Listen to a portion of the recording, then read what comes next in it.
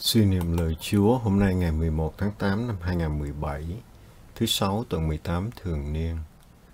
Bài đọc hôm nay có tên là Từ bỏ chính mình. Lời Chúa trong sách Matthew chương 16 câu 24 đến 28. Khi ấy Đức Giêsu nói với các môn đệ rằng: Ai muốn theo thầy phải từ bỏ chính mình, vác thập giá mình mà theo.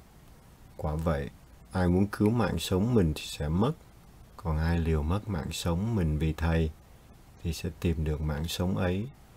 Vì nếu người ta được cả thế giới mà phải thiệt mất mạng sống thì nào có lợi gì? Hoặc người ta sẽ lấy gì mà đổi mạng sống mình?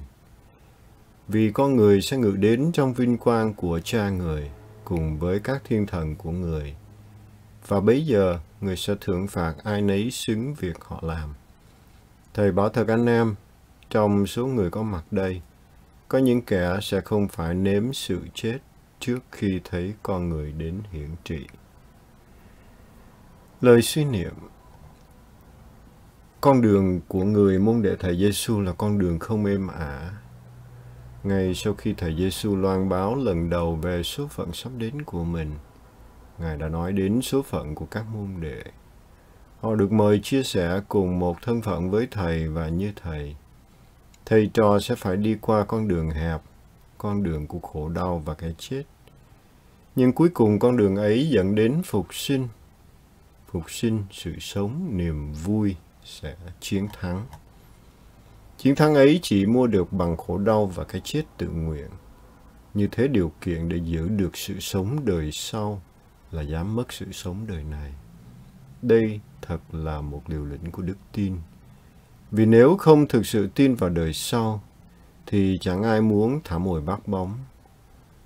Cuộc đời này có nhiều điều chân thiện mỹ, có nhiều giá trị đáng trân trọng, nhưng lắm khi cũng phải hy sinh chúng cho những giá trị lớn hơn. Cho đứng là chân thiện mỹ viết hoa là giá trị của mọi giá trị. Cái tôi của tôi là một giá trị lớn, là quà tặng độc đáo Chúa ban cho tôi. Chẳng có hai cái tôi giống nhau dưới mắt Chúa. Cùng với cái tôi, Chúa ban cho tôi tự do, lý trí, trái tim, thân xác. Chúa còn ban cho tôi vũ trụ vật chất với bao tài nguyên để tôi sống nhờ. Và cả một thế giới với bao cái tôi khác. Để tôi sống như anh em. Cái tôi là món quà quý nhất Chúa ban cho tôi. Cái tôi cũng là món quà quý nhất tôi có thể dâng lại cho Chúa.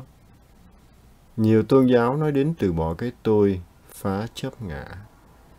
Đức Giêsu cũng mời bất cứ ai muốn bước theo Ngài phải từ bỏ chính mình, không phải vì cái tôi của mình là xấu xa, đáng ghét, nhưng chỉ vì nó chỉ là thụ tạo trước mặt đấng tạo hóa đã dựng nên nó.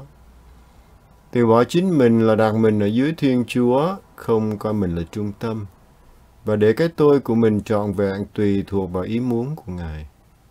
Thầy Giêsu đã sống từ bỏ mình như vậy trong suốt cuộc đời trần thế. Ngài luôn sống như một người con thảo, một người được cha sai. Lạ thay, chính lúc từ bỏ mình, mút cạn chính mình, hủy mình ra không, thì Ngài lại được phục hồi chính mình và được siêu tôn trên mọi sự. Trong Kitô giáo, cái tôi được thanh luyện nhưng không bị loại bỏ. Cái tôi ấy cũng không bị Thiên Chúa nuốt chửng hay hòa tan. Ai mất mạng sống mình vì Thầy thì sẽ tìm được mạng sống ấy.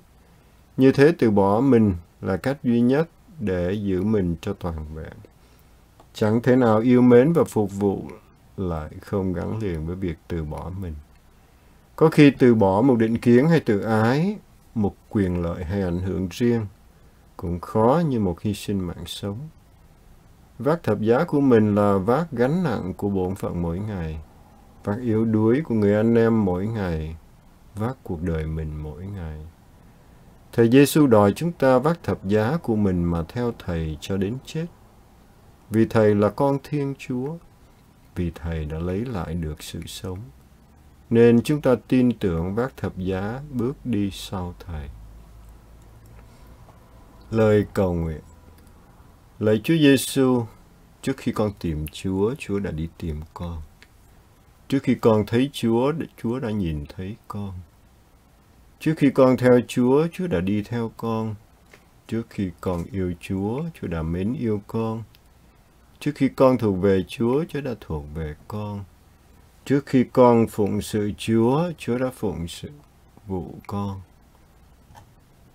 Trước khi con tỏ bỏ mình vì Chúa, Chúa đã nộp mình vì con.